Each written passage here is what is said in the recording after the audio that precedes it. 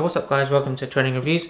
So this is my very first what's in my camera bag 2020. So I'm going to show you everything that I carry with me when I'm doing my filming and my photography. So let's start off with the case. It's a nice, very well built large case from a company called Evecase.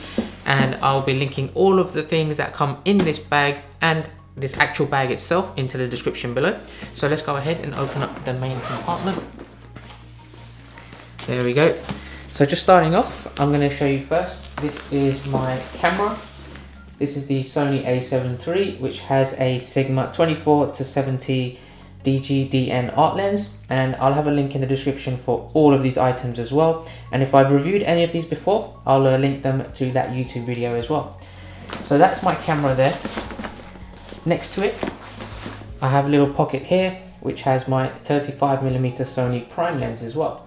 So nice little compartment there to keep my other lenses. So that's a very compact one. Next to that is a very nicely built Manfrotto tripod. So this is mainly for smartphones, but you can use this for my camera as well. So I use this when I just want to do a little bit of a macro photography on the desk or just want to use utilize this and take pictures of close-up objects, mainly for my YouTube videos. So I've created a little section here just for that. Coming onto this side here, now there's a lot of stuff in here. Let me go ahead and pull this out. This is the Feelworld F5 4K monitor that goes on top of DSLR and mirrorless cameras. So if you wanted to do recording on cameras that don't have a flip out screen to see yourself, then this is perfect for you.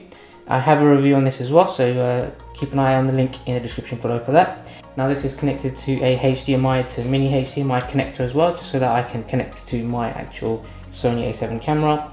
It also has a dummy battery here to power outlet, so I can power the camera using this dummy battery, which is essentially just empty.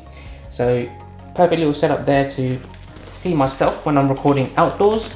Now to turn on that monitor, you need a battery. So I bought this dual RavPower battery pack for the Feelworld F5 monitor as well. So I'm storing that right there. Now there's a little compartment here. You can essentially fit a tablet in there as well. So I used to carry an iPad in there, but I no longer need to. In here I've got a couple of things. I've got my Aputure LED Pocket flashlight. So if I turn this on, it's a very bright LED light as you can see here. It's so compact, it's the size of a credit card, so you can dim this as well. It's chargeable, no removable batteries, so I keep that in there. I also have a dual cold shoe mount as well. So if I want to connect maybe a microphone and that pocket LED light onto the top of my camera, then I can do that. Or sometimes I connect the little Feelworld F5 monitor as well, and then have a microphone separately. So it gives me the options to expand a little bit. And then I also have my Sony camera strap as well for my mirrorless camera. Now let's go ahead, turn this around, and show you what's in the hood. So these tiny little pockets I keep in here my Rode Wireless Go microphones.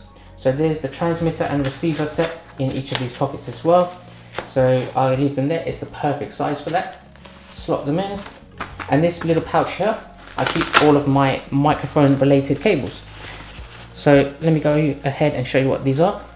So this is a microphone cable that is actually a splitter for your laptops. So if you want to use the headphone and the actual microphone, then you can do separately through here. So if I wanted to use, for example, the Rode Wireless Go on my MacBook, then I will need to use this by putting this into the headphone jack. This is the Rode SC7 patch cable. Allows me to use my Rode Wireless Go with smartphones. So if you have an iPhone or an Android, then uh, you can connect that using this. And this is the standard microphone cable that came with the Rode Wireless Go to connect that to your cameras. And I also have some wind protection sleeves here and also a wired lavalier mic as well if I just wanted to use that rather than the wireless one. So that's all my microphone related cables which I'm storing in this pouch here. Right, let's go over to the front. So in here we have a few items. I've got a microfiber cloth in each of these pouches here.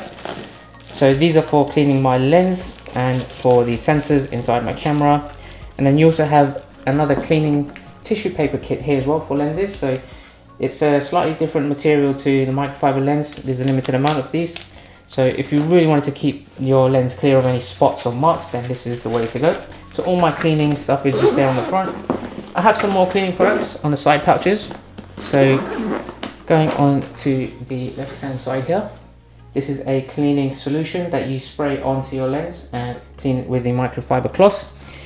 But there's also a couple of different things in the pouches here as well.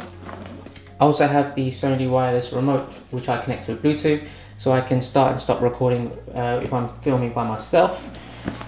And there's also a cable that I've got in here.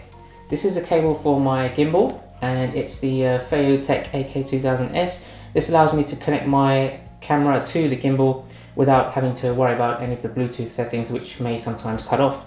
So that's a direct connection between the camera and the gimbal. Keep that in that pouch there. On the other side is a full set of cleaning equipment. So you have the air blower and you have a couple of brushes as well to clean your lens which came with the set of the microfiber cloths there on the front. So that's the um, only thing I keep on the left hand side. You also have the additional pouch if you want to put anything in there as well. And last but not least, there's a zip at the back as well, so plenty of compartments in this camera bag. Here I've just got another separator, so if I wanted to put this inside the main compartment, maybe do another split, then I can do that with this additional one here. So I've just put that back there. You also have a little handle there, so if you want to carry this on a suitcase, for example, then you can clip that on there. And this also comes with a carry strap, which I've kept separately. So that's about it guys, that's everything that comes in my camera bag 2020. Let me know if there's anything that you carry in your camera equipment bags that is not mentioned here and let everyone know down below.